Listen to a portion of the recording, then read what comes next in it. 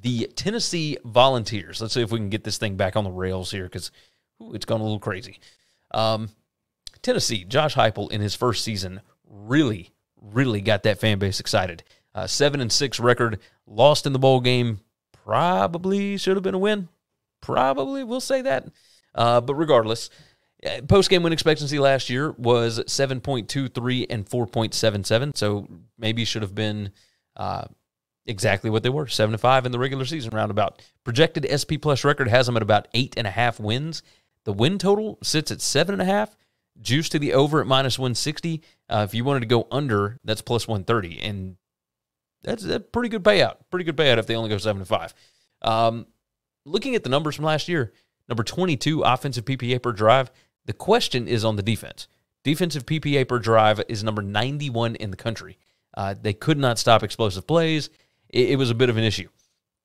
But looking at the returning production, they're 73%. That's number 28 in the country. 81% on offense. Defense, uh, you got to replace some guys. So let's start off on the offense. Uh, coordinator Alex Golesh. Uh, this is really Heupel's offense. I mean, bottom line, he's run it since he was at Missouri uh, with some tweaks here and there, of course, as he's learned. But uh, if Hendon Hooker can stay healthy, like Heisman finalist caliber quarterback here, uh, 31 touchdowns, three interceptions last year. I mean, he was just uber efficient. Running back room is loaded. You got Small, Wright, Dixon, etc. The wide receiver room pretty loaded as well. I don't know that they've got that one playmaker that's really gonna scare teams, right? I don't think you got that guy right now. Maybe I'm wrong. Like maybe it's uh, Cedric Tillman. Maybe it's you know one of these new guys that's coming in. We'll see. Um, but they do have a lot of upperclassmen who saw a ton of snaps last year. Bru McCoy transferred in. Maybe he's the guy. Maybe he's finally found somewhere that, that he'll fit in. Uh, the offensive line has got six back with 400 plus snaps. A lot of depth, a lot of talent at that position there. Uh, defensive coordinator, we'll move over to the defensive side of the ball. Tim Banks, the D allowed 33.6 points per game in SEC play last year. And bottom line, this is the side of the ball that's going to determine whether or not the Volunteers are an SEC East threat. If they are legit contenders for a championship, they have to be better on this side of the ball, period. Uh, the secondary was better than the front seven last year. Uh, the defense was number 68 passing PPA allowed, but they were number 91 rushing PPA allowed. Uh, the secondary does lose the safety Jackson, cornerback Taylor. Good news is there's 12 players back with 250 plus snaps, so that's definitely good. Uh, you got Georgia Tech transfer uh, cornerback Walker that comes in. He could start immediately. There are freshmen that could play key roles on defense, uh, especially on that defensive line. So look for a lot of that there. Uh, they're projected favorites in eight games. They have got five toss ups on the schedule. Again, for me, a toss up, any game that is projected to be within one score all the way up to eight points. I told you the win total sits at seven and a half and it's juiced uh, to the over at minus 160. The keys to the season here fans need to not set their expectations too high on this because last year uh, he comes in, Heupel comes in and resurrects what was basically a dead program, right? Uh, team does look pretty good. They are not on the same talent level as the elites just yet. They are close, very close. And if they keep recruiting like gangbusters, like they've been doing, then yes, obviously that's going to be good things. But keep the expectation level normal. Don't expect them to go undefeated. I'll just say that. Uh, the offense exciting, but I will say it's. I'm not going to. I put easy to break down on here. Um, I'm not going to say it's easy. I'll just say there are defenses if they have the right pieces that will be able to know exactly what Tennessee is doing, and they'll be able to stop it. There were several of them that were able to stop it last year.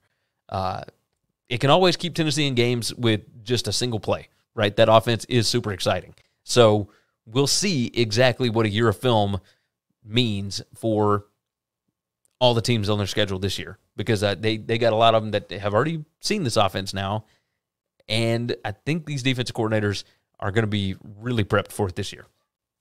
Defense was number 113 in scoring opportunities last year. Uh, they gave up 80 drives inside their own 40 yard line. I mean, that is just a monster number. Uh, number 97 in points per scoring opportunity. So when they did get down there, they didn't get a lot of stops anyway. Uh, getting stops is going to be the key to contending this year. I've got them at nine and three. I really like this team. I like the I like the roster strength. I like the fact they've got so many guys back on offense. I like the way the schedule sets up.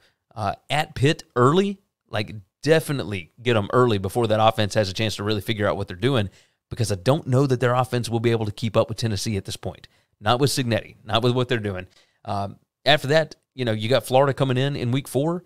Yeah, Florida's already going to have two pretty tough schedule, uh, two tough games at that point. I think this is uh, a prime spot for Tennessee to get that win. Then they come off a bye, they go down to Baton Rouge. I don't know that I necessarily like LSU a whole lot. I think they, I think Tennessee could be five and zero oh before they go to Alabama or before Alabama comes in Knoxville. Um, I don't, you know, I look at this. I've got a loss to Kentucky. I mean, I feel like they could win that one. I feel like they could maybe beat South Carolina. Like maybe the I see nine and three here. I don't really know who it's going to be to. I've got a loss at South Carolina. I've got a loss to Kentucky, and I've got a loss to Alabama. I've got Tennessee beating Georgia. I think nine and three would be just huge. Uh, if it's a loss to Georgia and Alabama, and then just one more loss elsewhere, I think that's a monster year, a fantastic season, and definitely something to build on as the recruiting continues. Now, uh, I hope the volunteer fans would be happy with that for sure. Uh, but yeah, I, I would take the over at minus 160. I think it's a small price to pay for sure. Thanks for listening to the Winning Cures Everything podcast. The website is winningcureseverything.com, and if you want to connect with us, we're on Twitter at Gary WCE, at Chris B. Giannini, at Winning Cures, or you can email us, Gary at winningcureseverything.com or Chris at winningcureseverything.com. Subscribe everywhere you need to subscribe, and we'll see you soon.